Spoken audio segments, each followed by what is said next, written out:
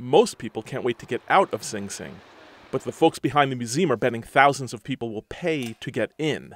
They'd like to convert the 1936 powerhouse and perhaps even the 1825 cell block into a tourist attraction at the maximum security prison that's been on the banks of the Hudson River since before the Civil War. Historic Hudson River Town's executive director Jerry Fiala explains what they're looking to do. To accurately capture uh, the 200 years of its existence um, from the lens of both the correction officers, uh, inmates, and the administration, and then go through and, and explain the evolution of the penal institution and penology in general. Here at the Ossining Heritage Center, they have replica cells. Think of it as a preview of what you'll see down at the museum at Sing Sing. They're hoping to open that in 2020.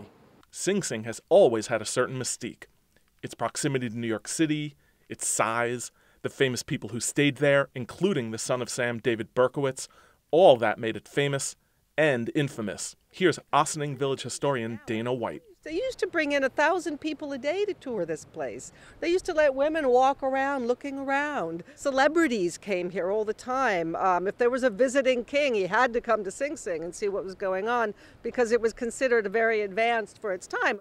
All of that, plus the incredible scenery, made Sing Sing an ideal location for filming, and Hollywood jumped all over that. The most famous era of the Hollywood pictures that were filmed here was when Warden Lewis Lawes came here in 1821. And he was uh, very good at public relations, and he was also himself very ambitious when it came to uh, media.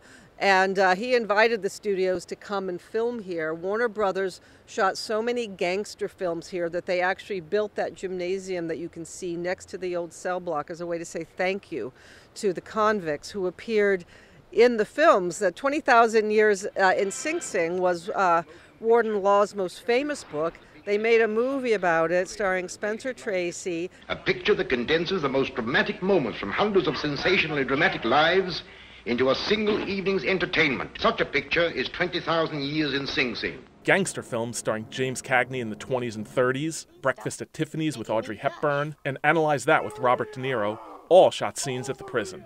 But the star of the show when you talk about Sing Sing is perhaps Old Sparky. That's the nickname of the electric chair that was used to kill death row inmates. More than 600 people were executed, including Julius and Ethel Rosenberg. They were convicted of espionage and electrocuted in 1953. The last execution was in 1963, 10 years after. But Sing Sing isn't all about crime and punishment. It's also a place of rehabilitation. People trying to be better men when they come out than they were going in. Behind these walls, people are doing time. But they're also using that time to get job skills, get an education, get ready for the world outside these walls. The museum will also tell their story. Sing Sing Superintendent Michael Capra explains how groups like Hudson Link help accomplish that.